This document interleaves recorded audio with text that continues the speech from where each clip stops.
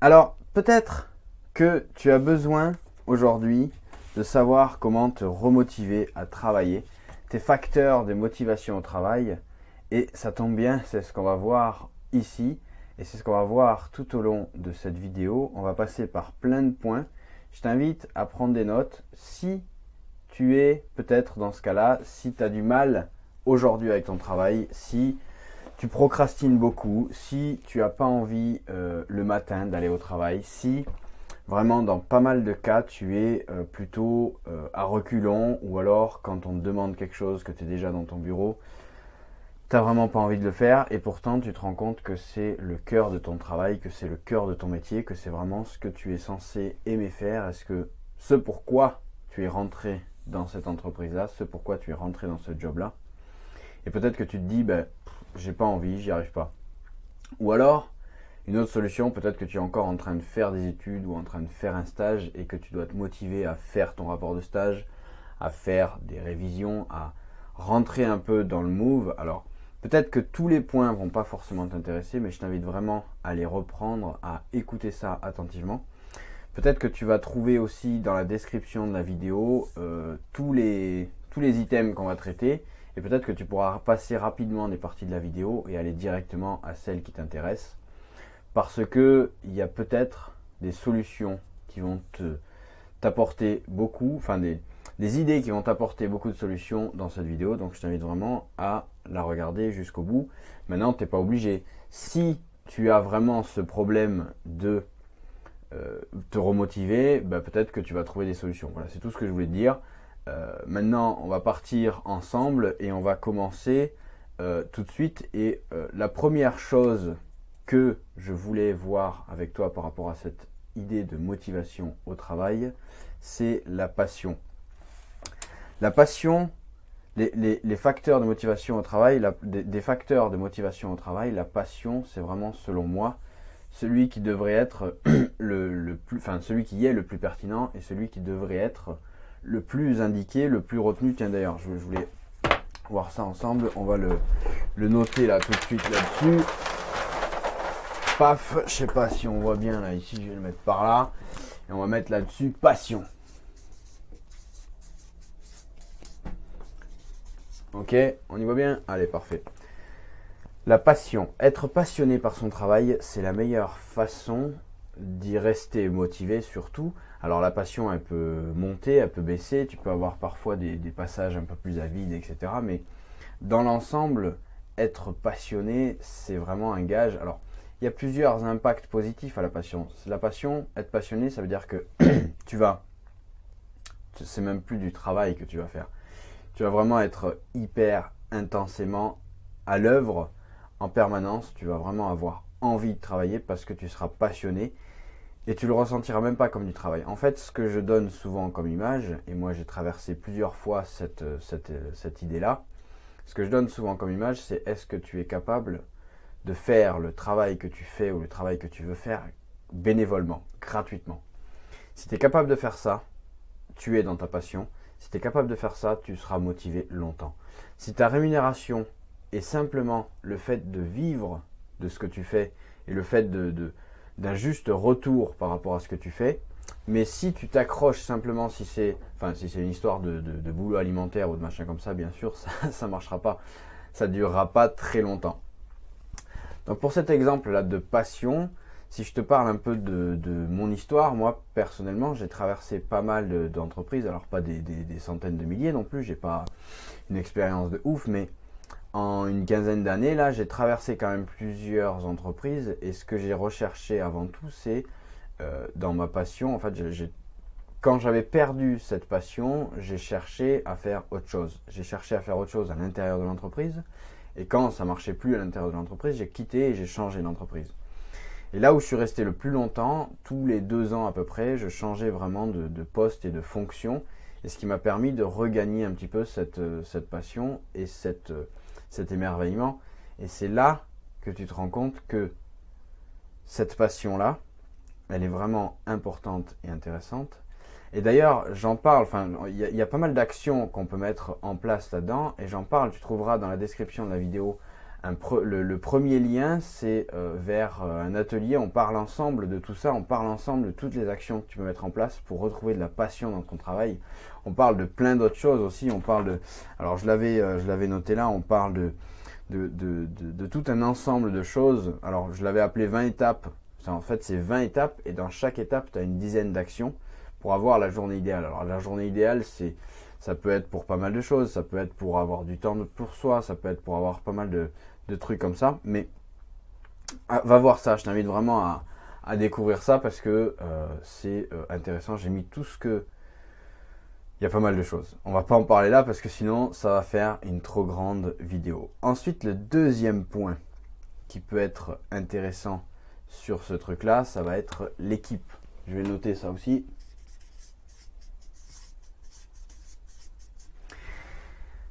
La motivation dans ton travail, un des facteurs de motivation dans ton travail, ça va être l'équipe dans laquelle tu travailles. Et peut-être que tu en es déjà conscient, peut-être que tu en as déjà mesuré toute la puissance de cette chose-là, mais l'équipe dans laquelle tu travailles, tiens, il manque, euh, si je mets pas de i, ça va pas. Voilà, c'est mieux comme ça.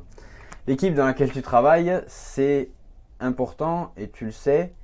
Et ce qui est encore plus important, c'est d'être en phase vraiment avec les gens avec qui tu travailles, que ce soit dans l'équipe, j'entends aussi les gens que tu as sous tes ordres, si tu as des gens sous tes ordres, et les gens qui te donnent des ordres. Alors, tu ne peux pas changer ces gens-là parce que tu es dans un système d'entreprise, tu es dans un système d'organisation qui fait que tu n'as pas la main. Peut-être que tu as la main, mais en général, tu n'as pas la main sur qui embaucher ou qui virer. Donc, ce que tu vas devoir apprendre à faire, c'est trouver les talents de ces gens-là pour rester motivé.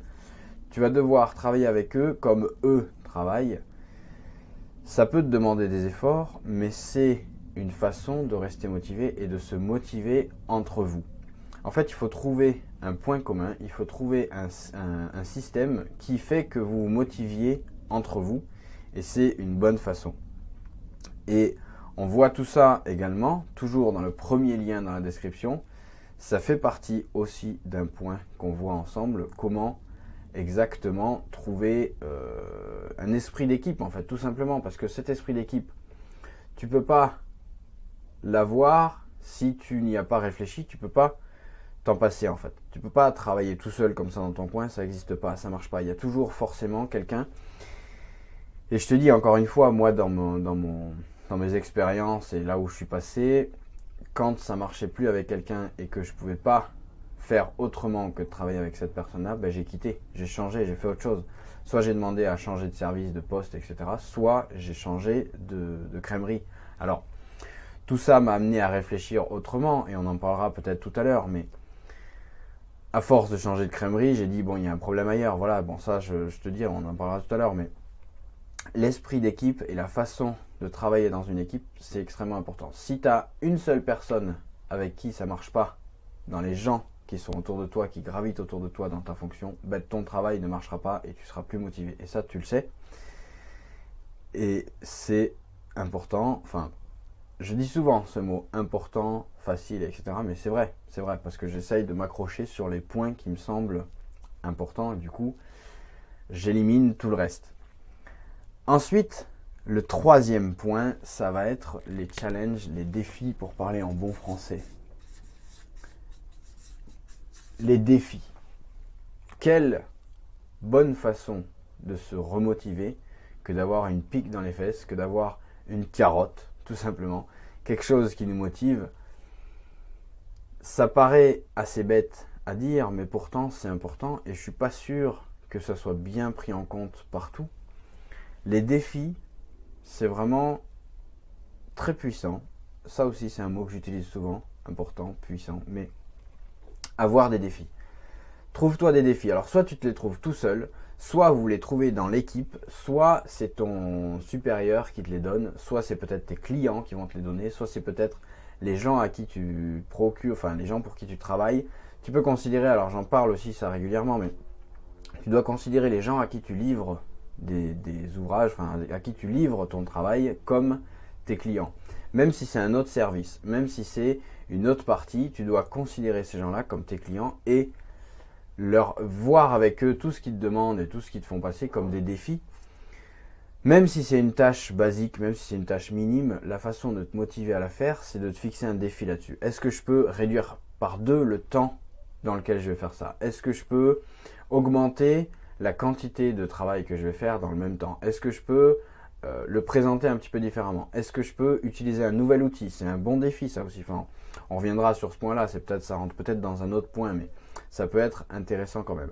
Trouver des défis partout, c'est important. Moi, les défis, les principaux défis que, j'aime relever, c'est, on y viendra aussi tout à l'heure, c'est, euh, euh, non, je sais pas si, enfin, on verra ça, mais le principal défi que j'aime relever, c'est de changer complètement de métier, de changer. Alors, il y a un fond qui reste là, qui reste toujours là. Il y a une idée de base, la technique peut-être qui reste là, mais de changer de fonction autour de cette technique-là, de changer radicalement, de me mettre vraiment, de me jeter dans une autre chose pour vraiment mettre une tempête dans ma tête et avoir besoin de tout remettre en question. Et c'est ça que j'aime bien, ce défi-là. Et le dernier défi, enfin le dernier, je suis en train d'en relever un là en ce moment, mais le dernier gros défi en entreprise que j'ai relevé, c'était une création de poste et c'est vraiment extrêmement intéressant, c'était vraiment extrêmement puissant, c'est-à-dire que tu pars d'une page blanche. Dans l'entreprise, il y a des postes, enfin des postes similaires qui, ont, avaient été créés dans d'autres villes, si tu veux, dans d'autres agences, dans d'autres villes, mais là, dans cette ville-là, c'était une création. Et rien que ça, c'est ouf. Ça m'a pris un certain temps à mettre les choses en place, à je vais dire un mot un peu fort, mes anciens collègues peut-être vont me regarder et vont me, se hérisser, mais il faut éduquer les gens, c'est ce mot-là qui vient et c'est ce mot-là qui est truc, c'est éduquer les gens à cette nouvelle fonction, voir une nouvelle organisation dans l'équipe, encore une fois, et ça, c'est intéressant, et ça, c'est un beau défi. Et ce genre de défi-là, c'est peut-être pas celui que tu pourras trouver tout le temps, mais il faut trouver des petits défis. Il faut trouver, il y a toujours un défi. Et si tu as besoin d'aide pour trouver ces défis-là, encore une fois, l'atelier est toujours pareil, le premier lien dans la description. Je vais te le répéter tout au long de cette vidéo. Si ça te saoule, tu peux quitter tout de suite. Maintenant, moi, je te garantis que on va voir encore tout un tas de points ici et ils sont vraiment détaillés dans cet atelier-là. Maintenant, tu es libre. Tu peux partir de ça et je te garantis que déjà avec ça, si tu travailles sur chacun de ces points-là, si tu trouves tes propres actions sur chacun de ces points-là, tu vas être grave remotivé, tellement remotivé que tu vas pouvoir aller demander tout ce que tu veux à ton boss. Ou que tu vas euh, décrocher tes diplômes, etc. Voilà, tout ce que, tout ce que tu attends. Un autre bon facteur de motivation au travail, c'est la nouveauté. La nouveauté,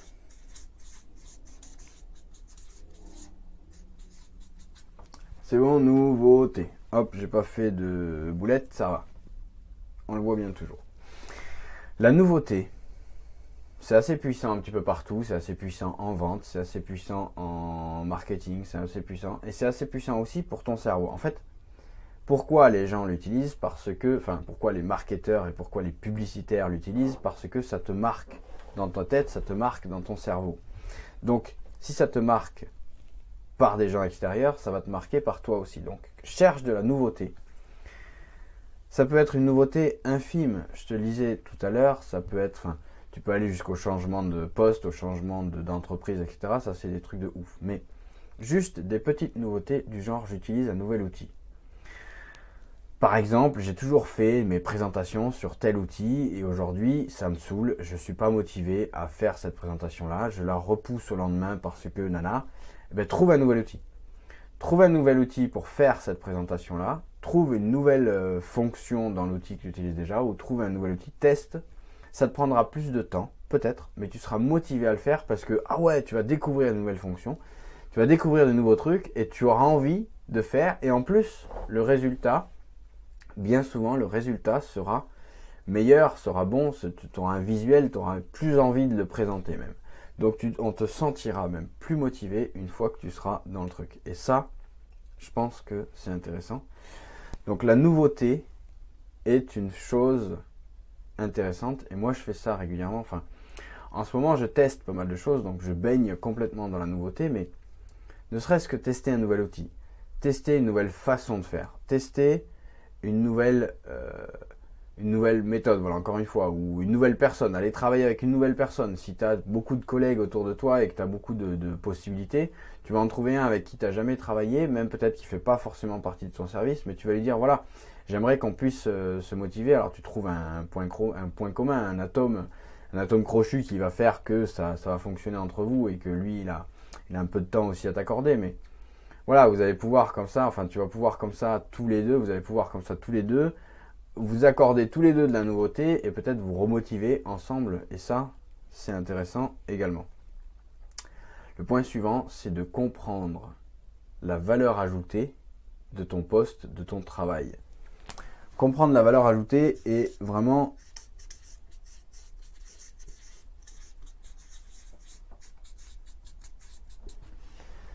La valeur ajoutée, c'est quoi? C'est ce que tu produis ajoute forcément de la valeur dans le système dans lequel tu le produis. Peut-être que tu l'as pas en tête et c'est peut-être un facteur de démotivation. C'est peut-être ce qui te fait baisser les bras. Mais ne serait-ce que de remettre la main là-dessus, de remettre le doigt sur ce qui, ce qui fait que tu es dans ce système, ce qui fait que tu apportes à l'entreprise. En fait, j'en ai parlé de ça aussi, mais je te le rappelle ici. L'entreprise ne t'embauche pas pour que tu viennes paumer 8 heures par jour dans, son, dans ses bureaux ou dans son système ou dans son machin.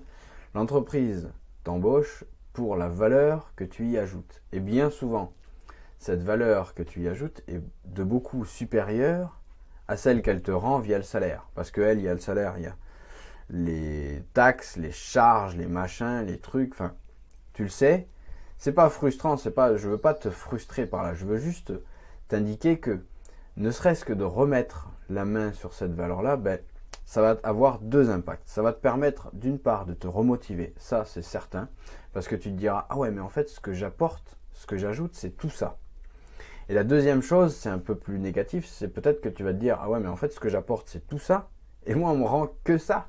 Non, ça, ça va pas ça colle pas, il va falloir que je fasse quelque chose. En fait, c'est pas si négatif que ça, parce que si tu mets quelque chose en place, ça veut dire une négociation de salaire, ça veut dire une négociation de quelque chose, et donc ça va être intéressant, ou alors une évolution, ou alors travailler moins, mais faire euh, le travail beaucoup plus ciblé sur ce que tu ajoutes comme valeur. Voilà, c'est ça va être euh, pertinent quand même cette, euh, cette étude-là et cette, cette volonté-là d'identifier cette valeur ajoutée, mais c'est très important.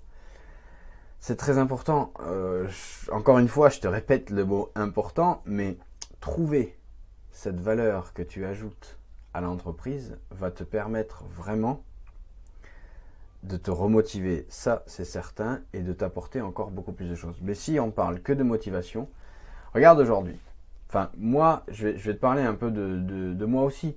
Qu'est-ce qu'on peut trouver comme exemple? Par exemple, quand j'étais euh, conducteur de travaux en métier de chantier. C'est-à-dire que je faisais à la fois du chantier et je faisais à la fois du bureau. J'étais parfois pris dans une espèce de forme de routine, dans une espèce de forme de il faut que je démarre un nouveau chantier, il faut que je termine un ancien chantier, il faut que je fasse un chiffrage, il faut que j'aille voir tel client, il faut que j'aille voir machin. Et de temps en temps, j'avais besoin de me poser, comme ça j'avais besoin de prendre l'air, j'avais besoin d'observer tout ce que j'avais fait, tout ce que je faisais, etc. Et la valeur que j'ajoutais, c'était en fait, on parlait à ce moment-là beaucoup d'environnement. Alors on faisait des macros, des micros plutôt, des micros euh, touches comme ça d'environnement, des trucs euh, recycler l'huile, recycler le papier, machin, c'est bien. Mais en fait, mon métier, c'était le fret ferroviaire. Le fait de transporter des marchandises sur les rails. Et j'ai dit simplement, plus je fais mon métier, plus je fais de l'environnement. Parce qu'on est d'accord que transporter des, des marchandises sur les rails, c'est plus propre que de transporter des marchandises sur des centaines de camions. Et donc, ne serait-ce que ça, ça me permettait de me remotiver. Et juste ça, c'est une, bonne image. Et si tu, si cherches à savoir, encore, je te dis, premier lien dans la description, si tu cherches à savoir quelle est ta valeur ajoutée, comment trouver ta valeur ajoutée, alors peut-être que tu sais déjà la trouver tout seul, et c'est tant mieux. Moi, je veux pas que tu ailles voir ce premier lien dans la description, je te dis juste que ça peut t'aider. Si tu veux y aller, tu peux. Si tu n'es pas obligé. Ok? On continue ensemble sur le point suivant. Projet d'entreprise. Le projet d'entreprise. Peut-être que pour te remotiver, il faut que tu comprennes ce que veut ton entreprise. Alors là, il y a un truc qui coince un petit peu. Et moi, personnellement, c'est parfois un facteur de démotivation tel que j'ai dû quitter et trouver une autre entreprise. Peut-être qu'elle n'avait pas un meilleur projet d'entreprise, mais je me suis accroché à d'autres facteurs. Du coup, je me suis accroché à la nouveauté, aux défis, etc. Mais le projet d'entreprise, aujourd'hui, il y a quelques entreprises qui en ont. Il y a beaucoup d'entreprises qui n'en ont pas. Tout simplement parce que, alors ça, ça c'est un jugement personnel que je porte, mais tout simplement parce que les entrepreneurs, enfin, les entreprises ont perdu le fil conducteur parce que c'est devenu, les, gens qui sont à leur tête sont devenus des carriéristes. Ils arrivent, ils prennent des sous, ils repartent, ils partent dans une autre entreprise, qui gagnent ou qui perdent, de toute façon, ils, ils seront, eux, enfin, qu'ils fassent, qu'ils ajoutent de la valeur à l'entreprise ou pas, de toute façon, eux, personnellement, ils seront gagnants, donc ils s'en foutent un peu.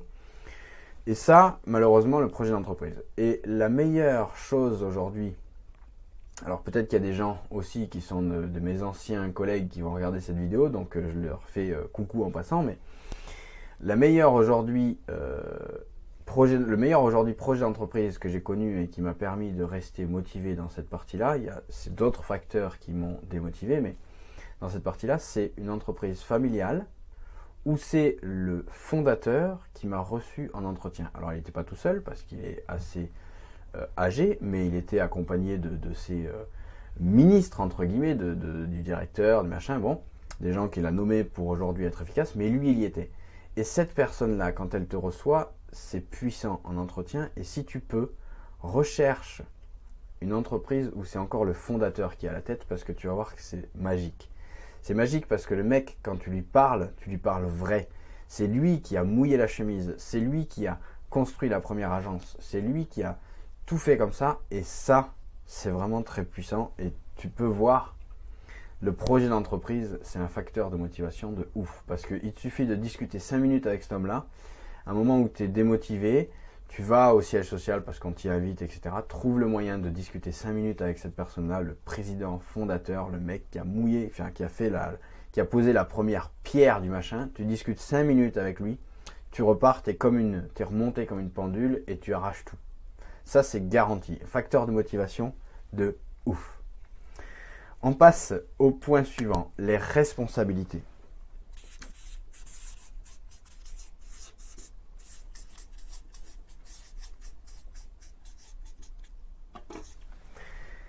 Quel facteur de motivation que d'avoir des responsabilités? Alors c'est à double tranchant. Ça peut t'apporter des motivations, mais ça peut aussi te démotiver. Mais pourtant, je le mets quand même ici parce que c'est surtout, alors ça peut se rapprocher un petit peu du facteur de nouveauté et du facteur de défi, mais c'est surtout le fait de prendre de nouvelles responsabilités ou d'identifier à nouveau les responsabilités que tu as déjà. Et ça, ça va être intéressant également de voir ça pour te remotiver. Et comment ça va te permettre de te remotiver? Tout simplement parce que tu vas être relancé par des gens et si tu as bien fait cet accompagnement et ce travail de responsabilité, ça sera des relances intelligentes et intéressantes. Ça ne sera pas des rappels du genre euh, il me manque ci ou j'ai pas ça ou tu as merdé dans ci, tu as merdé dans ça. Si tu as vraiment bien accompagné ce travail de responsabilité, donc les responsabilités veut dire des délégations, si tu as bien fait cette étape de délégation, on en parle également dans l'atelier qui est dans le premier lien dans la description, et eh ben toutes tes responsabilités seront très puissantes et vont beaucoup t'apporter de motivation. Ces responsabilités-là, en fait, elles sont en elles-mêmes excellentes parce que je ne peux même pas te le décrire. Moi, personnellement, alors si je, peux, si je te parle un petit peu de, mon histoire, euh, je suis rentré, par exemple, dans ma plus grande expérience, là, je suis rentré comme euh, euh, exécutant comme tous les autres, et puis je suis passé un petit peu au-dessus d'eux, et un petit peu au-dessus, un petit peu au-dessus, jusqu'à avoir une quinzaine de personnes sous mes ordres. Et à ce moment-là, tes responsabilités, si tu les accompagnes bien, elles sont facteurs de remotivation parce que les gens te posent de bonnes questions, te font te remettre en question. En fait, le fait d'être en responsabilité te draine un petit peu toutes les autres toutes les autres euh, façons de te remotiver parce que tes responsabilités, ça va te donner des nouveaux défis, des nouveaux défis, tu vois, les deux en même temps. Tes responsabilités, ça va te permettre de mesurer un petit peu ta valeur ajoutée parce que si les gens te posent des bonnes questions, tu vas en permanence te dire ah oui, ce point-là, c'est vrai que ça doit passer par moi. Donc ça, c'est, tu vois tout de suite la valeur que tu ajoutes. La passion, après, c'est plutôt sur les, les, points suivants, on va y revenir aussi, mais le fait d'avoir, enfin, d'avoir des responsabilités, d'être en responsabilité, est un facteur de motivation. Les responsabilités, c'est pas forcément des responsabilités sur les personnes. Ça peut être aussi des responsabilités sur l'œuvre que tu crées. Des responsabilités, par exemple, j'ai aussi traversé une responsabilité sur l'œuvre créée, c'est euh, j'étais géomètre, enfin c'était mon métier de base. Quand tu es géomètre, l'impact que, enfin, géomètre, on dit c'est un feignant dans sa bagnole, il plante des piquets au bout du chantier. Oui, mais un bon géomètre, il n'a pas le droit à l'erreur. Et la plupart du temps, la plupart des géomètres que j'ai croisés moi, ils, ne s'accordent pas d'erreur et ils font pas d'erreur. Il y en a quelques-uns des fois, enfin une boulette par-ci par-là, mais une vraie erreur. Parce que le géomètre, il a deux chose sur la tête, il a déjà, quand il plante pas le piquet à temps, ben, il a toute l'équipe derrière lui là qui coûte des ronds, qui attendent, parce que tout le monde attend après son piquet pour travailler. Et quand il plante le piquet à côté, il a des millions d'euros en jeu parce qu'il y a tout l'ouvrage qui sera à côté. Ou tout l'ouvrage qui sera déformé, qui va se casser la gueule. Donc ça peut être aussi une responsabilité euh, technique, une responsabilité sur le chantier. Ça, ça te remotive parce que t'es, enfin, ça, te remotive parce que ça te pique aux fesses. C'est tout. C'est exactement ça. Donc, tu peux rechercher soit des responsabilités auprès des gens, soit des responsabilités sur l'ouvrage que tu es en train de mener. Ça va être une source de motivation. Et si tu veux encore une fois trouver quelle responsabilité, tu peux simplement en parler avec ton supérieur, en parler avec tes collègues, euh, essayer d'identifier. Tu en as forcément déjà aujourd'hui des responsabilités, sinon tu ne serais pas là où tu es. Même si tu es encore en train de faire des études, tu as déjà des responsabilités, tu as déjà des choses qui sont sous, enfin, qui ressortent que de toi, que, c'est toi qui dois le faire et personne d'autre. Et ça, ça s'appelle juste une responsabilité. Le point suivant, c'est l'autonomie. Et je l'ai différencié un petit peu de responsabilité. Je l'ai différencié un petit peu de responsabilité parce que l'autonomie, c'est pas c'est être responsable de soi, mais pas forcément de beaucoup de choses autour. Donc l'autonomie, c'est surtout, on te donne un travail à faire très peu euh, ciblé, enfin très peu ciblé. On te donne pas tout le process, on te donne pas tout le truc. Tu dois faire ça, cliquer ici, mettre là-bas, euh, euh, prendre tel dossier, le mettre de ce côté, etc. Ça, c'est manque d'autonomie. Ça, c'est pas forcément de l'autonomie. Ça, ça veut dire que tu as un process, tu plus qu'un exécutant, tu un bourrin. Tu es une machine. Tu une machine et tu, tu, prends ça, tu le mets là, tu le pop, tu coches telle case et tu le mets là-bas. Ça, c'est la meilleure chose pour être démotivé. Pour, euh, tu es un robot, quoi. Tu poses ton cerveau, hop, et tu fais. Ça, c'est pas motivé, ça, c'est juste euh, exécutant euh, de base, tout pourri. Enfin, tout pourri, c'est pas péjoratif, mais un petit peu d'autonomie, c'est quand même intéressant pour la motivation parce que, enfin c'est même pas parce que, c'est ça coule de source. Et comment avoir de l'autonomie? C'est tout simplement en gagnant la confiance des gens. La confiance, c'est le point suivant, mais je dérape un petit peu là-dessus aussi. Mais l'autonomie, c'est un facteur de motivation au travail parce que parce que tout simplement, euh, tu vas pouvoir créer ton propre travail, tu vas pouvoir avoir directement comme ça ce que tu veux faire à faire. On va te donner une tâche globale et tu vas pouvoir prendre le chemin que tu veux pour arriver au résultat. Ce qui est important, c'est le résultat. Et ce qui va être important aussi, c'est de présenter le résultat comme quelque chose d'équivalent ou d'approchant à ce qui était attendu. Pas tout à fait exactement comme c'était attendu, parce que sinon ça ne serait pas de l'autonomie. Il faut que tu aies aussi apporté ta valeur, ta pièce à l'édifice. Et l'autonomie, encore une fois, est un bon facteur de motivation parce que tu vas pouvoir prendre le, le chemin que tu veux pour arriver au résultat. Et c'est tout. Il n'y a pas plus à dire en fait sur l'autonomie.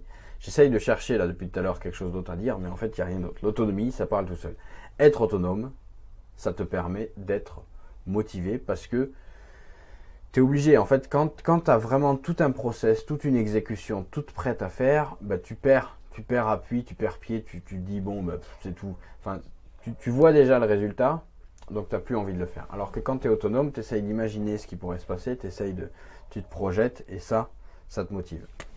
Le point suivant, c'est, alors là on va carrément plus rien voir si ça va, la confiance. Quand on te fait confiance, ça te motive. Et ça, je vais tout de suite l'illustrer.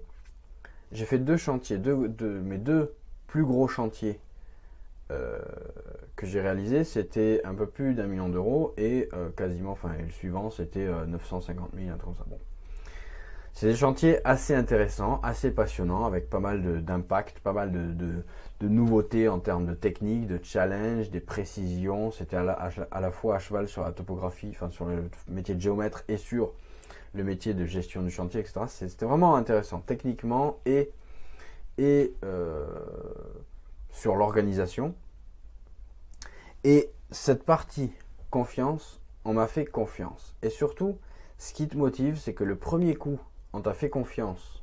Sur le premier chantier, on m'a fait confiance. Donc, j'ai eu à réaliser, j'ai eu à faire mes preuves, à gagner cette confiance, mais on m'a fait confiance quand même au départ. Ensuite, petit à petit, j'ai gagné la confiance. Ok?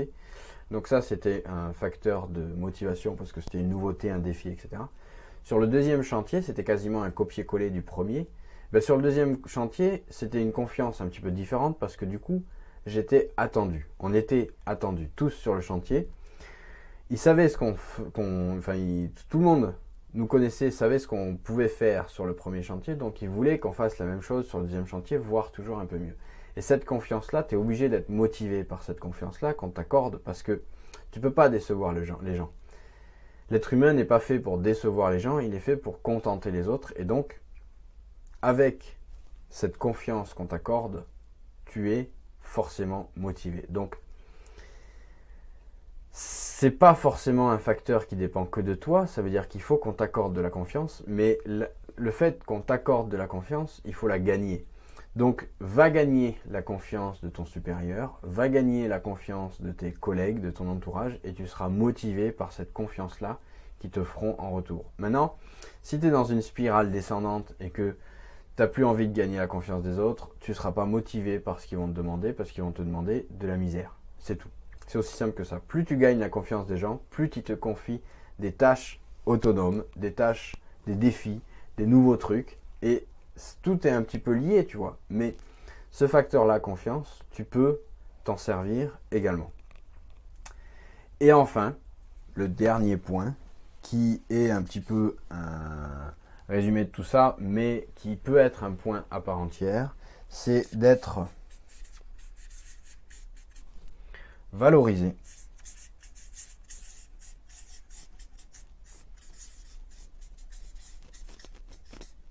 Et reconnu. Être valorisé et reconnu, c'est important. C'est une partie de la confiance aussi, mais ça dépend pas forcément que de toi. Mais par contre, il faut savoir mettre en place les bonnes actions pour le réclamer. Ça fait un moment que je ne te l'ai pas dit, donc je te le rappelle, tu as le premier lien dans la description de la vidéo qui va t'aider à passer chacun de ces points-là. En fait, je développe, je, te donne dans, ce, dans l'atelier, je te donne les actions concrètes que tu dois mettre en place pour être valorisé et reconnu, pour avoir la confiance des gens, pour gagner en autonomie c'est des actions en fait. Tu, as juste à exécuter ce que je te dis. Donc c'est pas peut-être pas très euh, motivant, mais c'est factuel. Tu as plus qu'à exécuter. Ouais, en fait, je suis en train de démonter un peu mon truc, mais je te garantis que c'est intéressant de quand même voir les actions que je te propose.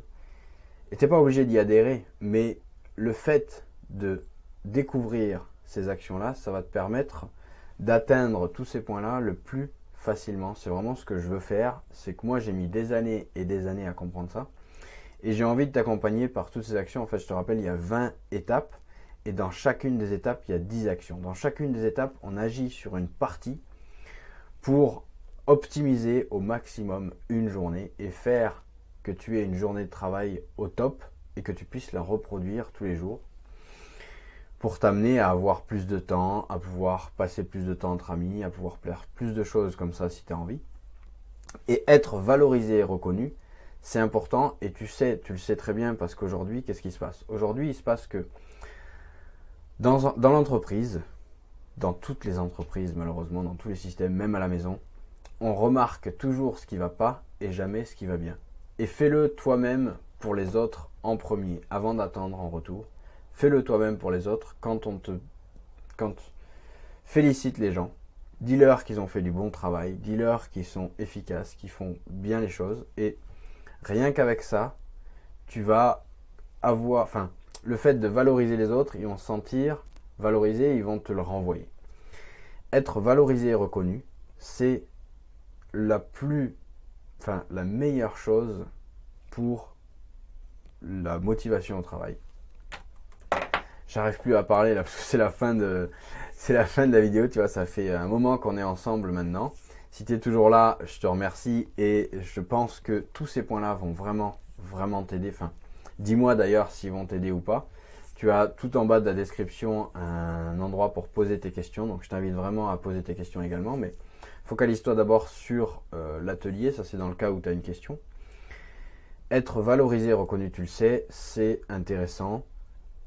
Ne serait-ce que, enfin, l'être humain fonctionne comme ça. On fonctionne, on est comme, euh, comme, euh, enfin, on est, on est un mammifère comme les autres. Donc, on fonctionne un petit peu à la gratitude. On fonctionne un petit peu au, au fait de, de qu'on nous dise merci, qu'on nous dise t'as fait du bon travail. Ne serait-ce que ça, c'est, enfin, il y a, il y a de nombreuses études d'ailleurs qui ont été publiées là-dessus qui disent que même si tu n'avais pas de salaire, si tu avais simplement de la reconnaissance, si tu étais simplement valorisé euh, par des mots, par des trucs comme ça, ça te suffirait. En fait, c'est même pas des. Enfin, bien souvent, il y a des études aussi qui montrent ça. L'augmentation de salaire, c'est pas la seule chose qui te permet d'avoir le bien-être au travail, c'est être valorisé, être reconnu pour le travail que tu as fait. Et je pense que tu es d'accord avec moi. On a fait le tour de tout ça, donc je t'invite à reprendre point par point et à essayer de définir sur chaque point quelles actions tu peux mettre en place pour être remotivé au travail. Et je te garantis qu'il y a forcément un de ces trucs-là qui va te remotiver directement et tout de suite. Ne serait-ce que l'histoire de la nouveauté. Si tu as une tâche rébarbative que tu fais depuis un an, que tu fais depuis deux ans, que tu fais depuis dix ans, que c'est toujours la même, change d'outil. Juste ça, ou change de façon de faire. Prends le problème dans l'autre sens. Et cette, juste cette petite nouveauté-là, ça va te remotiver à le faire parce que tu vas te reposer des questions Essaye ça. Juste essaye ça. Et on en reparle juste dans l'atelier qui est en premier lien dans la description. Je te rappelle également que chaque matin, tu as plus de 15 heures devant toi. Choisis tes priorités.